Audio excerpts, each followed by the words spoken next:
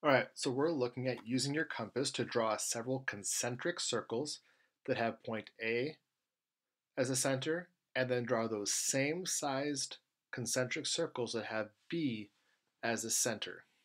So we have point A right here and point B right here. Concentric circles means the center for A So if I was to copy the circle,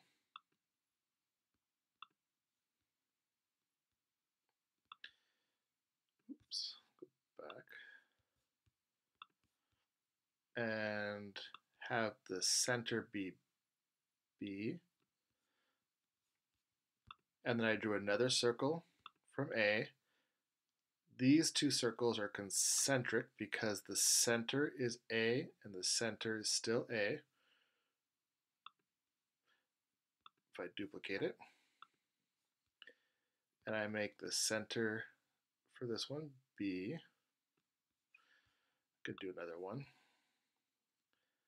So let's say from A, should we go a little bigger? Sure, let's just go a little bit bigger. And if I duplicate this one, I have two sets of concentric circles one set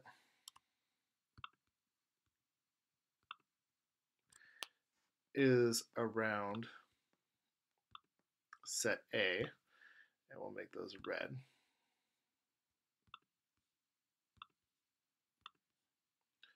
Those three are concentric. And another set around B, and those three are concentric. So we have two sets of concentric circles on the same size. What do you notice about where all the circles with center A intersect and all the corresponding circles with center B intersect? So if you look, they intersect here, here, here, here, here, here, they all intersect at the same line. If I connect all the points, they're exactly the same.